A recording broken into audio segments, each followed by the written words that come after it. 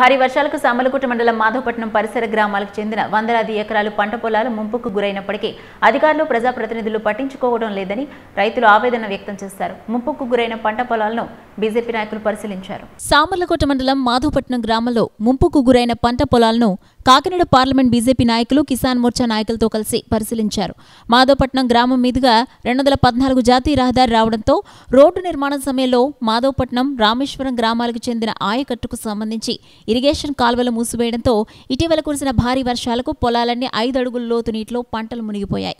ముంపుకు గురైన పొలాలను పరిశీలించేందుకు వచ్చిన భారతీయ జనతా పార్టీ కిసాన్ మోర్చా నాయకులు సామర్లకోట రూరల్ మండలాధ్యక్షుడు విత్తనాల వెంకటరమణ సారథ్యంలో జిల్లా ప్రధాన కార్యదర్శి రంబాల వెంకటేశ్వరరావు బొలిశెట్టి రామకృష్ణ పెండం సత్యనారాయణ గౌతు చిన్నారావులకు రైతులు మునిగిపోయిన పొలాల్లోకి వెళ్ళి వర్షం నీటి కింద నాట్లు వేసిన వరి చేను దుబ్బులను బయటకు తీసి చూపించారు. ఎకరాకు ఇరవై ఐదు వేల రూపాయల వరకు పెట్టుబడి పెట్టిన రైతులకు భారీ వర్షం కన్నీరు మిగిల్చిందని వాపోయారు. ఈ సందర్భంగా జిల్లా ప్రధాన కార్యదర్శి రంబాల వెంకటేశ్వరరావు విత్తనాల వెంకటరమణ బొలిశెట్టి రామకృష్ణలు మాట్లాడుతూ అక్రమ లేఅవుట్లు ఇళ్ళ స్థలాల పేరిట పచ్చని పొలాలను మూసివేయడంతో మాధవపట్నం పరిసర గ్రామ ప్రాంతాలకు చెందిన ఆయకట్టు పూర్తిగా ముంపుకు గురవుతున్న అధికారులు ప్రజాప్రతినిధులు పట్టించుకోవటం లేదని విమర్శించారు. తక్షణం అధికారులు ప్రజాప్రతినిధులు మాధవపట్నం రైతుల సమస్యలను పరిష్కరించకుంటే పెద్ద ఎత్తున ఉద్యమిస్తామన్నారు. కార్యక్రమంలో ప్రసాద్ సత్యనారాయణ తదితరులు పాల్గొన్నారు. సామలకోట రూరల్ మండలం మాధవపట్నం విలేజ్ అదేవిధంగా రామేశ్వరం వీకే రాయపురం అలాగా బోనపూడి ఇలాగ ఐదు గ్రామాల నుంచి ఇక్కడ సుమారు నాలుగైదు వందల ఎకరం ఈ రోజున ఇక్కడ ఉన్నది. దీంట్లో పూర్తిగా వంద ఎకరాలు మాత్రం పూర్తిగా ధ్వంసమైందని చెప్పేసి ఇక్కడ అర్థమవుతుంది. ఎందుకంటే మేము పరిశీలించి చూస్తుంటే చేలోకి దిగితే మన లోతు పైన కడుపు దగ్గరికి వచ్చింది నీళ్ళు. ఇందుచేత ఇంకో ఉదాహరణ ఇక్కడ లేఅవుట్ కూడా ఉంది. ఈ లేఅవుట్ వల్ల కొంత మునిగిపోయింది. అదేవిధంగా ఈ కాలువ మురికాలు ఉంది. మురికాలు ఏదైతే ఉందో గతంలో మురికాల నుంచి నీరు పోయేది.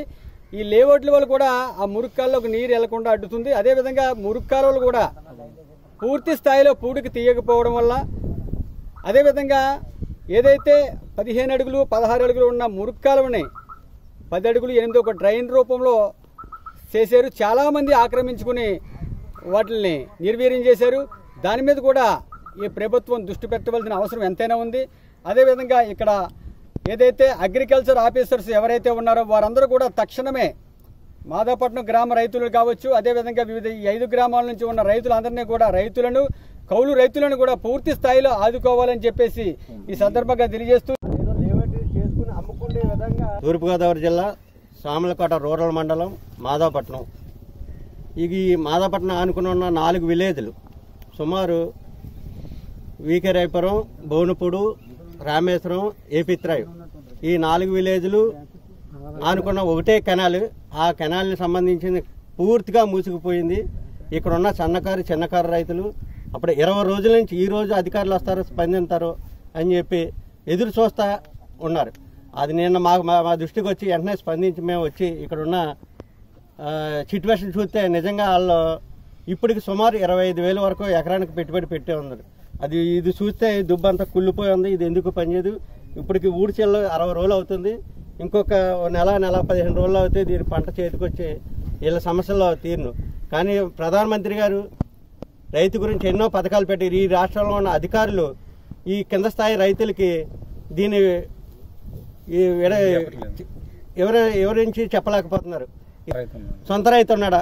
ఇమీడియట్గా స్పందించి వాళ్ళకి నష్టపరిహారం ఎమ్మడే ఇప్పుడే ఇప్పించాలని కోరుకుంటూ గోదావరి జిల్లా సామలకాట రూరల్ మండలంలో మాధవపట్నం భానుపూడి వెంకటకృష్ణారాయపురం ఇలాగా సుమారుగా రామేశ్వరం ఐదు గ్రామాలు సుమారు నూట యాభై నుంచి ఐదు వందల ఎకరాల వరకు పూర్తిగా ముంపుకు గురవడం జరిగింది. ఇదంతా కూడా ఇక్కడ అక్రమ లేఅవుట్ల వల్ల నీళ్ళు కిందకు దిగకపోవడం వల్ల ఏదైతే మురికాలు ఉన్నాయో పూర్తిగా పూడికిపోవడం వల్ల ఐదు సంవత్సరాల నుంచి ఒక్కసారి కూడా పూడికి తీయలేదని ఇక్కడ రైతులందరూ చెప్తున్నారు. ఇది ఇప్పుడు చూస్తే ఇక్కడ రైతులందరూ ఎంత బాధపడుతున్నారు. ఈ కుళ్ళిపోయిన దుబ్బులు చూడండి. పదిహేను ఇరవై రోజుల్లో పంట చేతికి వచ్చే టైంలో ఈ విధంగా కుళ్ళిపోవడం అనేది చాలా బాధాకరమైన విషయం. అందరూ కూడా ఇక్కడ ఉన్న అందరూ కూడా రైతులు కౌలు రైతులు మాత్రమే.